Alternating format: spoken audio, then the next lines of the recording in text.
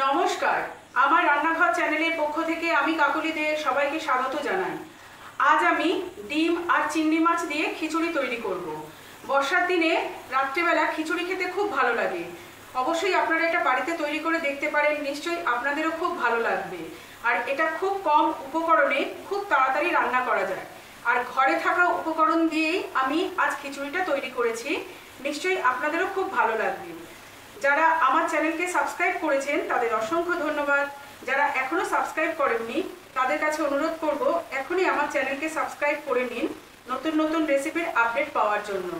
নতুন নতুন রান্নার ভিডিও নোটিফিকেশন পাওয়ার জন্য বেল আইকনে ক্লিক করুন। লাইক, কমেন্ট, শেয়ার করতে ভুলবেন না। কমেন্ট অবশ্যই করবেন, তাহলে আমি জানতে পারব আমার রান্না কেমন হচ্ছে। এবার আসুন দেখে নিন এই রান্নায় কি কি উপকরণ লাগে। ডিম আর চিংড়ি মাছ দিয়ে খিচুড়ি রান্নার প্রধান উপকরণ হলো চাল। এখানে আমি সেদ্ধ চাল নিয়েছি। এখানে তিনশো গ্রাম মতো চাল আছে। আর আছে ডাল। এখানে মুগ ডাল এবং মুসুর ডাল। আমি এটা তিনশো গ্রাম নিয়েছি, দেড়শো গ্রাম মুগ ডাল নিয়েছি আর দেড়শো গ্রাম মুসুরির ডাল নিয়েছি। আর নিয়েছি চিংড়ি মাছ। এখানে আড়াইশো গ্রাম মতো চিংড়ি মাছ আছে। আর চারটে ডিম নিয়েছি। এছাড়া লাগবে পেঁয়াজ। এখানে দুটো বড় সাইজের পেঁয়াজ আমি কুচিয়ে রেখেছি। পাঁচটা কাঁচা লঙ্কা নিয়েছি। আর তিন চামচ আমি আদা জিরে বাটা নিয়েছি। তিন টেবিল স্পুন নিয়েছি আদা জিরে বাটা। এছাড়া নিয়েছি হলুদ গুঁড়ো। বড় চামচের এক চামচ হলুদ গুঁড়ো নিয়েছি। ছোট চামচের এক চামচ গরম মশলা নিয়েছি। আর ফোড়নের জন্য নিয়েছি চারটে শুকনো লঙ্কা। আর এক চা চামচ মতো জিরে। এবার আমি রান্নার দিকে যাচ্ছি। এই রান্নাটা আমি সর্ষের তেল দিয়ে করব, আর এছাড়া লাগবে নুন আর চিনি। একটা কড়াইতে আমি এই ডালগুলো প্রথমে দিয়ে দেব। এগুলো আমি একটু নাড়াচাড়া করে নেব।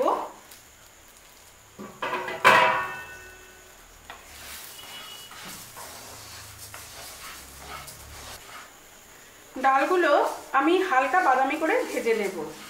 আমি এখানে দু রকম ডাল ব্যবহার করেছি। আপনারা চাইলে একরকম ডালও ব্যবহার করতে পারেন। দেখুন, ডালগুলো আমি হালকা বাদামি করে রোস্ট করে নিয়েছি। এবার এটা আমি একটা পাত্রে নামিয়ে নেব। দেখুন, কড়াইতে আমি বড় চামচের তিন চামচ মতো তেল দিয়ে দিয়েছি। এবার এর মধ্যে আমি চিংড়ি মাছগুলো ভেজে নেব।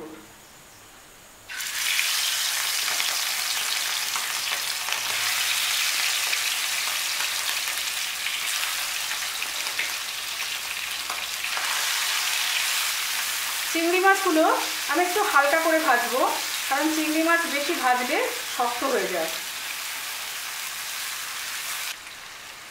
চিংড়ি মাছগুলো ভাজা হয়ে গেছে চিংড়ি মাছগুলো ভাজার দশ মিনিট আগে আমি নুন আর হলুদ মাখিয়ে রেখেছিলাম। এবার এগুলো একটা পাত্রে আমি তুলে নেব। কড়াইতে আমি আরও এক চামচ মতো তেল দিয়ে দিয়েছি। এবার এর মধ্যে আমি এই ফোড়নটা দিয়ে দেব। প্রথমে আমি জিরে দিলাম, তারপরে শুকনো লঙ্কাটা দিয়ে দিলাম।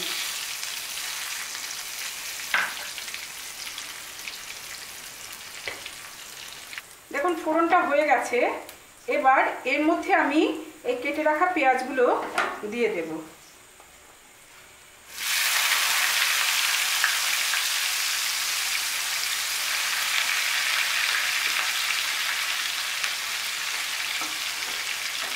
কেটে রাখা পেঁয়াজগুলো আমি দিয়ে দিলাম।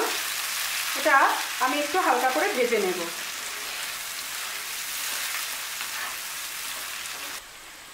যতক্ষণ পেঁয়াজটা ভাজা হচ্ছে, ততক্ষণ আমি ডিমগুলো একটা বাটিতে ফেটিয়ে নেব।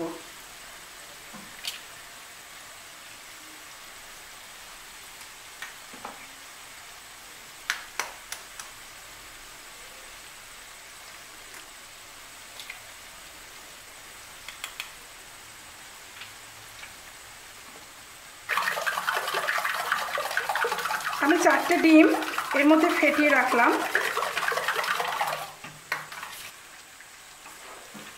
পেঁয়াজটা দেখুন এই- এইরকম ভাজা হয়েছে। আমি আরেকটু ভাজবো পেঁয়াজটা। দেখুন, পেঁয়াজটা ভাজা হয়ে গেছে। আমি এবার এর মধ্যে এক এক করে মশলাগুলো দিয়ে দেব। প্রথমে আমি আদা জিরে বাটাটা দিলাম। তারপর আমি হলুদ গুঁড়োটা দিয়ে দিলাম।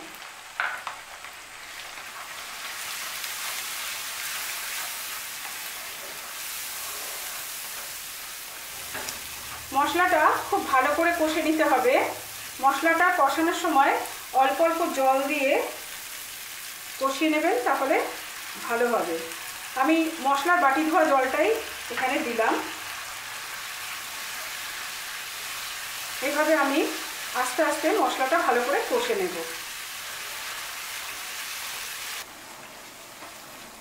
এবার এর মধ্যে আমি কাঁচা লঙ্কাগুলো দিয়ে দেব। ঝালটা আপনারা নিজেদের পছন্দে বাড়িয়ে কমিয়ে নেবেন।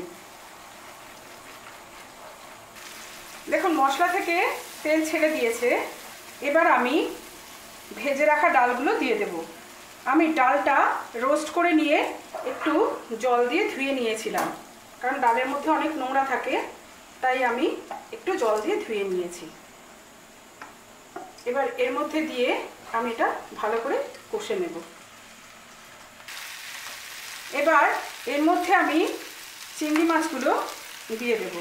চিংড়ি মাছগুলো আমি আগেই ভেজে রেখেছিলাম, সেগুলো এর মধ্যে আমি দিয়ে দিলাম। যতক্ষণ মশলাটা কষা হচ্ছে, ততক্ষণ আমি একটা হাঁড়িতে একটু জল গরম করতে বসিয়ে দিয়েছি, আর চালটাও আমি সেই সাথে ধুয়ে নিয়েছি। ডালটা মশলার মধ্যে দিয়ে ভালো মতো কষে নিয়েছি। এবার আমি ওই ফেটিয়ে রাখা ডিমটা এর মধ্যে দিয়ে দেব। আমি ফেটিয়ে রাখা ডিমটা আমি এইভাবে এর মধ্যে দিয়ে দিচ্ছি। আপনারা চাইলে অমলেট করেও দিতে পারেন। আলাদা করে অমলেট করে এর মধ্যে দিতে পারেন। তা আমি একসাথে এর মধ্যে দিয়ে দিচ্ছি।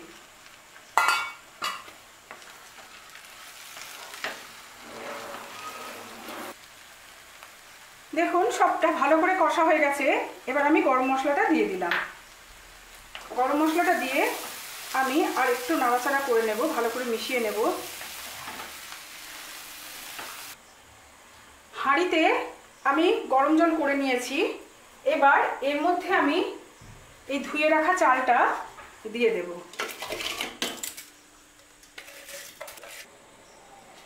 দেখুন, হাঁড়িতে চালটা ফুটতে শুরু করেছে। এবার আমি এই কষিয়ে রাখা ডালটা এর মধ্যে দিয়ে দেব।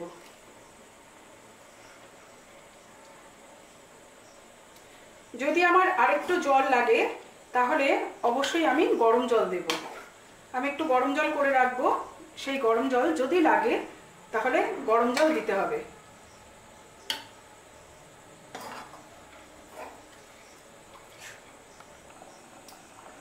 দেখুন, খিচুড়িটা ফুটতে শুরু করেছে। এবার আমি গ্যাস ওভেনের ফ্লেমটা একটু কমিয়ে দেব। আমি এটা মাঝারি করে দেব। আর মাঝে মাঝে এসে আমি নেড়ে দেব। অন্তত দশ মিনিট মতো আমি এইভাবে ফুটতে দেব। যতক্ষণ না চাল, ডাল দুটোই সেদ্ধ হচ্ছে, ততক্ষণ আমি এটা মাঝারি আঁচেই রেখে দেব। একটা ঢাকা দিয়ে আমি রেখে দিলাম। প্রায় পনেরো মিনিট পরে আমি ফিরে এসেছি। আমি আঁচটা কমিয়ে দিয়েছিলাম আর মাঝে মাঝে এসে আমি হাতা দিয়ে তলা থেকে নেড়ে দিয়ে গিয়েছিলাম।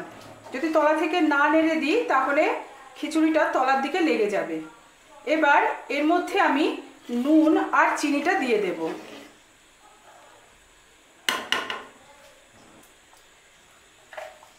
এর মধ্যে আমি নুনটা দিয়ে দিলাম।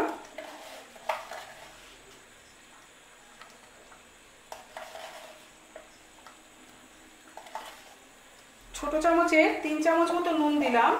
যদি আমার নুন আরেকটু লাগে, আমি পরে আবার দিয়ে দেব।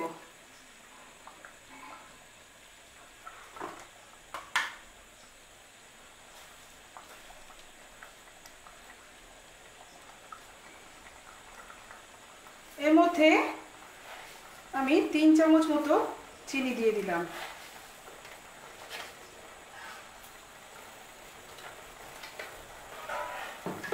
আমি একটু দেখে নেব যে নুন আর চিনি আর একটু লাগে কিনা।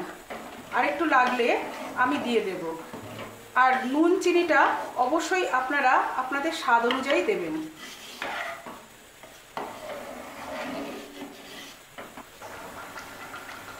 দেখুন, নুন মিষ্টি দেওয়ার পরে খিচুড়িটা ফুটে উঠেছে। এবার আমি এর মধ্যে একটু ঘি দিয়ে দেব। বড় চামচের এক চামচ মতো আমি ঘি দিয়ে দিলাম। ঘিটা অপশনাল আপনারা দিতেও পারেন, নাও দিতে পারেন। আমার খিচুড়িটা রান্না হয়ে গেছে। এবার আমি গ্যাস ওভেনের ফ্লেমটা অফ করে দেব। তৈরি হয়ে গেছে চিংড়ি মাছ আর ডিম দিয়ে খিচুড়ি। বর্ষার দিনে এই খিচুড়ি খেতে খুবই ভালো লাগে। খুব কম উপকরণে আপনারা এই খিচুড়িটা রান্না করতে পারেন। এটা আপনারা বাড়িতে তৈরি করুন এবং আপনাদের বহুমূল্য মতামত আমাকে জানান। এই ভিডিওটি শেষ পর্যন্ত দেখার জন্য অসংখ্য ধন্যবাদ। সবাই ভালো থাকুন, হাসি খুশি থাকুন। এবার আমি আসি আবার নতুন কোনো রান্না নিয়ে উপস্থিত হব আমার রান্নাঘর চ্যানেলে। নমস্কার।